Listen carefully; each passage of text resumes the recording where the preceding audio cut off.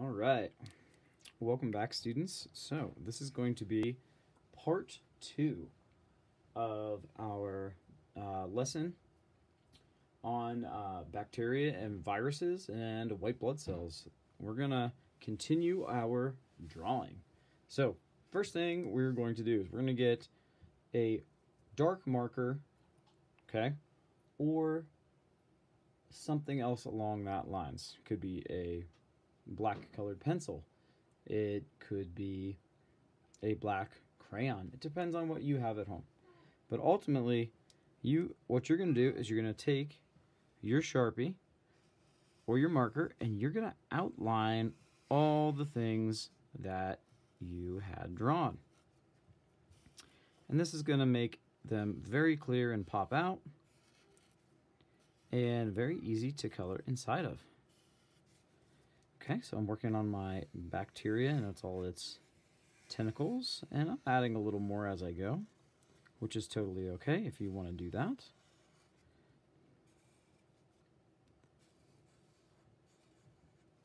Okay, so there's the shape of mine. I'm also going to do all of the little organs and other fun inside parts and outline those as well.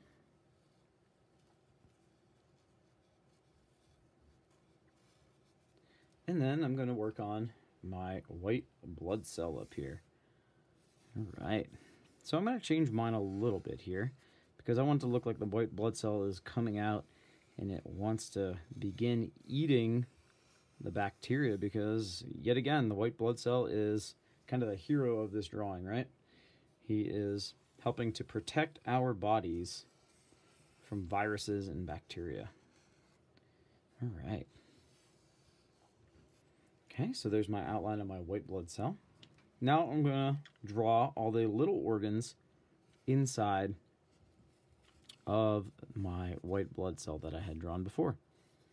Okay, so here we go. Remember, you can still use the visual reference from the last project. Okay.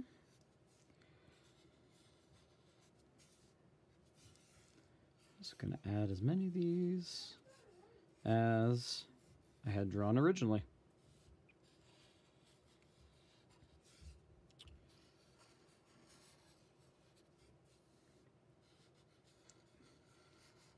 Okay, last is the big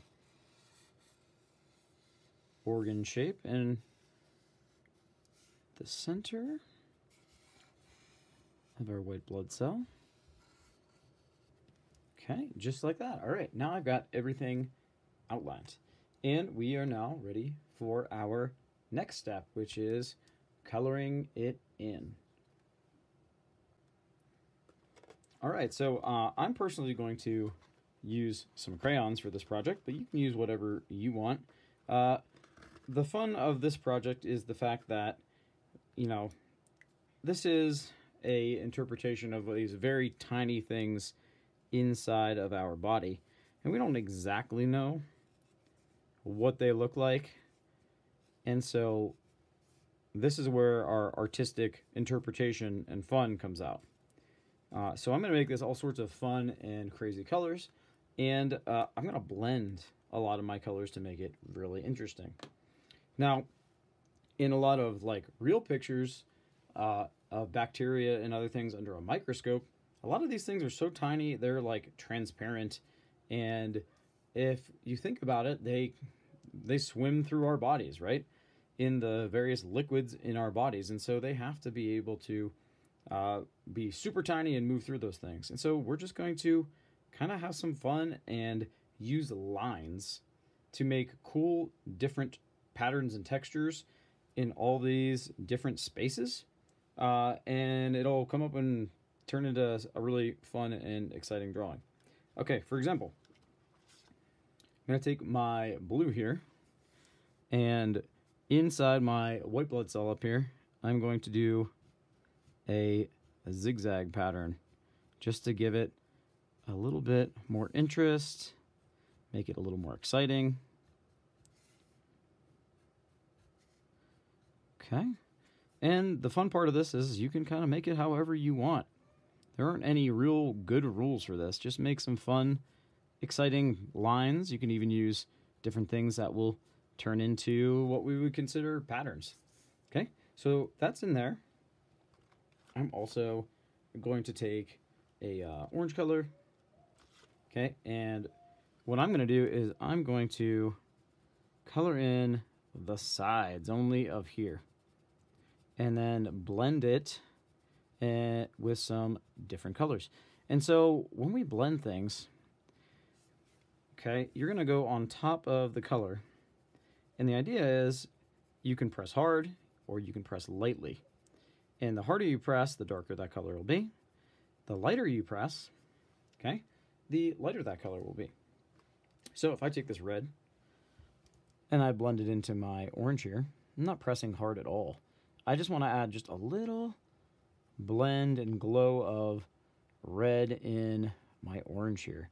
And it kind of makes a really fun looking effect over top of my orange. My orange was very bright, as you can tell. It's almost like neon. Yeah, this one's called Atomic Tangerine. Okay, and so what I'm going to do, I'm going to go around these. I'm going to do the same type of thing. Pressing really hard towards the edges where it's black, and then loosening up as I go towards the middle. And then adding my red.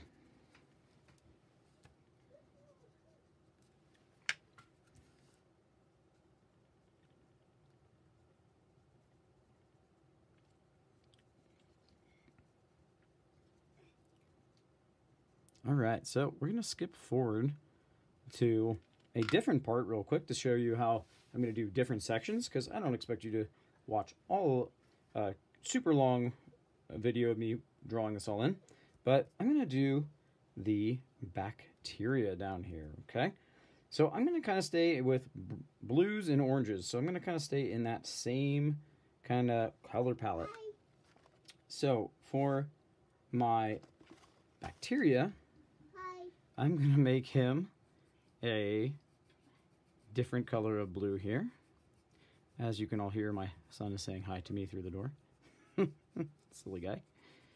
And so, I'm going to color just the outside edge and the tentacles with this blue color. And I'm going to do the same thing. I'm going to blend some different colors into it to make it look kind of cool and interesting.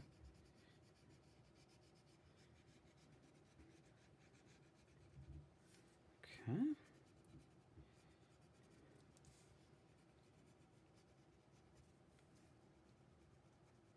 See, I got out of the lines there too. No one is ever perfect when they're drawing, so make sure I pointed that out. Sometimes that does happen. Okay. All right, so now I got him. Now inside, I'm to go back to my orange. And I'm to make these kind of crazy squiggly lines all throughout the inside, kind of behind some of my shapes. Okay. All throughout it, just these crazy squigglies that are going to add some other visual interest. Okay. Now I'm going to go to a different color and I'm going to go to this kind of pinkish purple color and I'm going to color in some of these little organs with that. You can go really crazy with your colors on this. Like I said, this is just a fun kind of artistic rendering of these different, very tiny things that you can only see with a regularly with a microscope. Okay, so I'm going to fill those in. And then finally, what I'm going to do is I'm going to get a, a dark purple. And I'm going to blend the outside edge just like we were talking about before. So I'm going to start here and just add some purple in here. Press really hard on some areas to get that dark purple in there on the edges.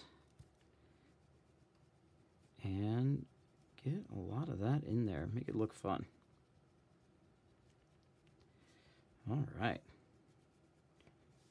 And the final thing I'm going to show you is the colors that I am going to choose for the outside edge of my little white blood cell here. Well, I shouldn't say he's little. It's kind of big. So, I'm going to go yet again back to blues. Okay, I'm going to go with this one.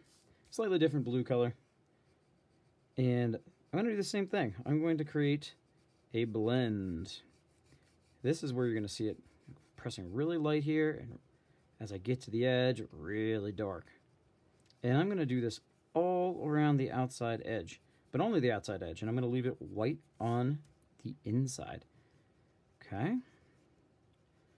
Just like this. And as I go out, and you can try this as well, just press lighter. Press really hard on the edge, really, really hard. Lighter as I fade out. Okay. And as you practice this, you kind of learn how to control how hard you press. And that's really one a really important thing to learn in art is how hard you're going to press on things. Okay. All right, that's all I'm going to do on that piece. But now I'm going to come back in with a different color. And this time, I'm going to switch to a green color. I'm going to pick a darker green. Okay. So we can find one. Here's a good one. And I'm going to mix some of that in. Oh, actually, this turned out to be a lighter green, not a darker green. So it's actually going to mix with that blue and kind of make a teal color, even more teal than it was before. So that's an interesting thing. I thought that was a light, a, a uh, dark green color. And it wasn't. Sometimes that'll happen. Happy accident, because this looks really cool. It's a nice blend of colors. Okay. And then after that, you can add any other details. You can add little floating objects in your in any of these things. You can color the outside any color you want. I'm probably going to go with this blue color and just make a nice kind of scribble for the background areas while still kind of keeping the white blood cell, uh, the white of the paper. That's kind of what I want to go for. Uh, all right, students, I know this was a long one. I hope you have fun with this and enjoy this, and uh, we'll talk to you soon.